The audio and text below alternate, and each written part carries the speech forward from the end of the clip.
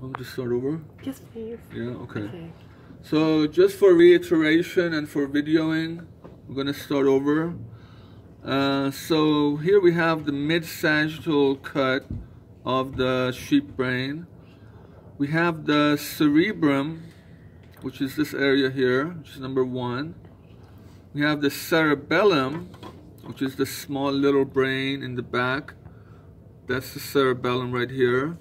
And on the medial aspect of the cerebellum, you get to see the arbor vitae, which is the tree of life, which is the white matter inside the uh, cerebellum, in the medulla. Okay, the spinal cord is right here, the extension of the uh, medulla oblongata. The frontal lobe would be right here. The parietal lobe uh, posterior to it. The temporal lobe is going to be inferior and lateral. And the occipital lobe is going to be posterior. This is the left hemisphere that I'm holding with its dura mater. Uh, so that's uh, number eight. And then this is the right hemisphere that I'm holding now. Uh, together, when they come together, they form a medial longitudinal fissure right in the middle where the falx cerebri is going to sit. And that's more obvious in humans than in sheep. We'll see that also. Um, so this is the left hemisphere. This is the medial longitudinal fissure, which is number 9. And then the right hemisphere is number 10, which is right here. Now, the brainstem um, on the medial cut,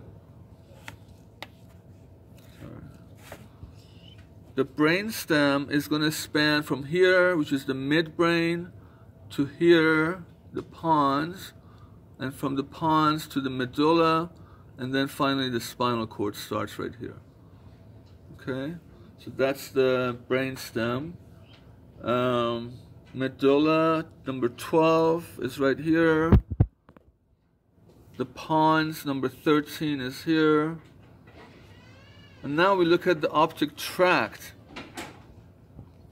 We look at the optic tract and that's going to be right here. Right here. Right in here.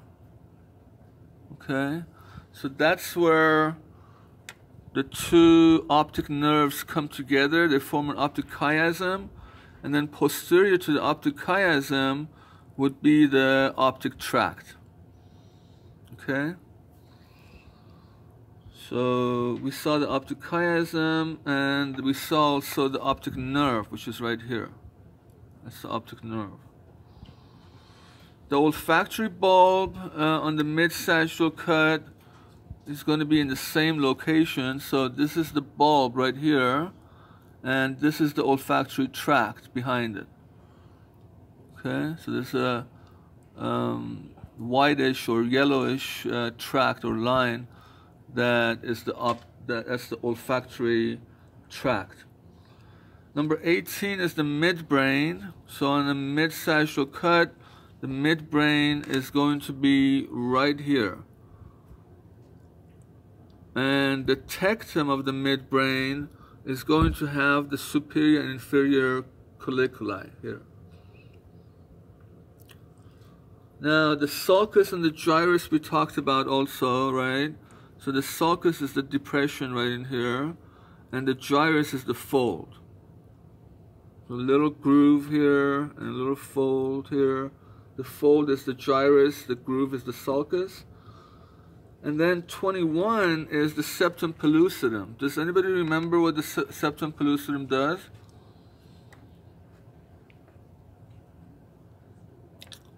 Okay.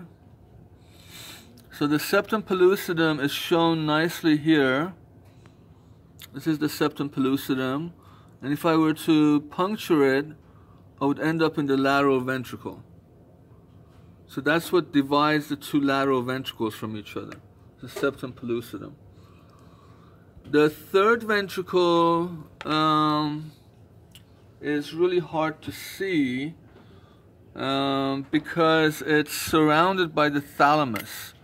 So in reality, the, the third uh, ventricle is going to be right here. Right here on the medial aspect of the thalamus. Okay, so the two thalami are going to meet and in between them is going to be the third ventricle. The third ventricle is right here. The left lateral ventricle is going to be in here. So if I open this up and dissect this little, little tiny bit, I'll see the lateral ventricle right in here. You see that? Lateral ventricle. So that's the left lateral ventricle. The fourth ventricle is where?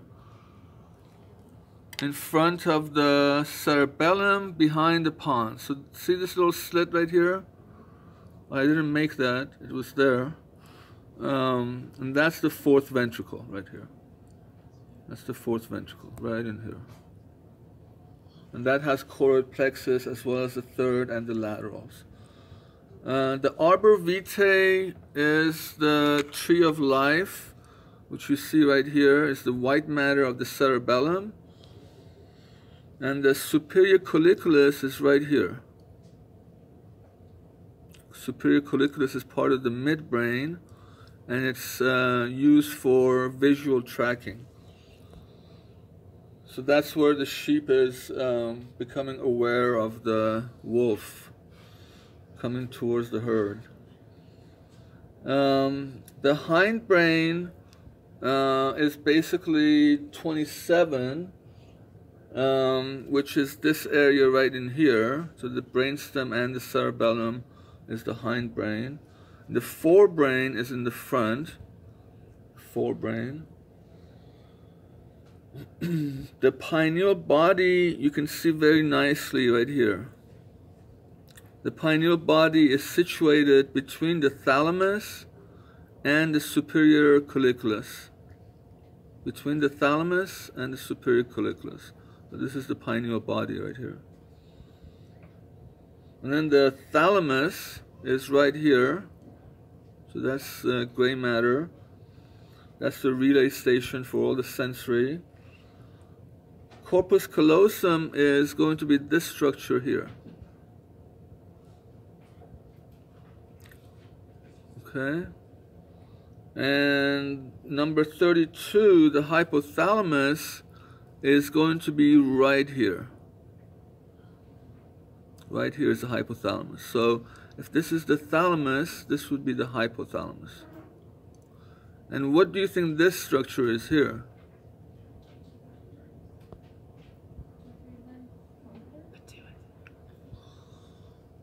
Right, pituitary. Yes, very good. And uh, 33 is white matter. So this is the white matter in the cerebral cortex, the cerebral uh, cerebrum, basically. This is the white matter, and the gray matter is around it. This is gray matter. This is white matter. Okay, and that's the pituitary. Pituitary is not listed in here for some reason, but you can see it very nicely right here.